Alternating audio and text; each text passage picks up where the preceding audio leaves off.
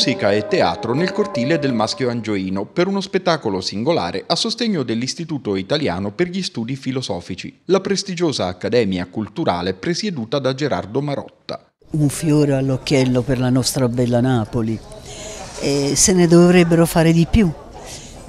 Quando mi hanno detto grazie signora per partecipare, ho detto no, se mi consentite sono io che ringrazio voi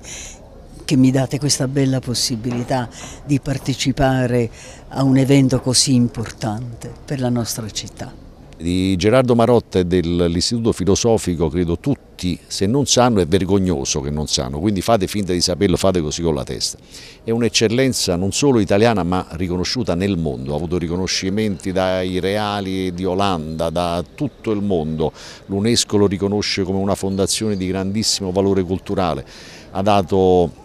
moltissimo in questi anni, ha una biblioteca di 300.000 volumi che vergognosamente sono itineranti, invece di essere a disposizione del pubblico stanno chiusi nei camioncini e vanno avanti e indietro. Gli artisti che hanno risposto all'appello del comune di Napoli si sono esibiti gratuitamente. L'intero incasso è stato così devoluto all'istituto che versa in condizioni di difficoltà materiale e da tempo attende risorse da parte dello Stato. Stasera parlerà mio figlio Massimiliano,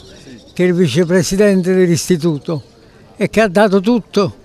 quello che avevamo, quello che era residuato dei nostri beni per, per l'istituto e quindi ha voluto sacrificare la sua vita, dedicare la sua vita per questo istituto.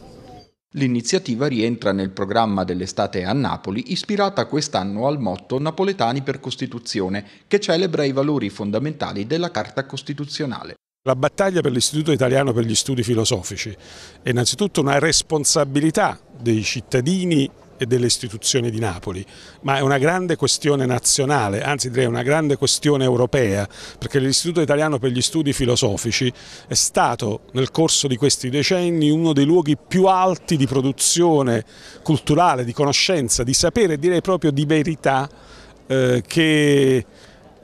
ha contribuito a mantenere alti i grandi valori dell'umanesimo e ci rendiamo conto, e forse per questo l'Istituto è spesso perseguitato dall'indifferenza, ci rendiamo conto come questo sia stato importante, spesso però osteggiato, perché in questo mondo in cui i mostri dell'egoismo e dell'avidità eh, l'hanno avuta vinta su ogni altra dimensione dell'umano, ecco, hanno trovato nell'istituto eh, un combattente tenace per i più alti valori, che sono poi i valori scolpiti nella nostra Costituzione e che fanno parte del grande patrimonio eh, della dignità dell'uomo in ogni latitudine, in ogni longitudine. Fra i contributi della serata anche il Marottino, un dolce realizzato da un celebre caffè cittadino in onore dell'avvocato Marotta.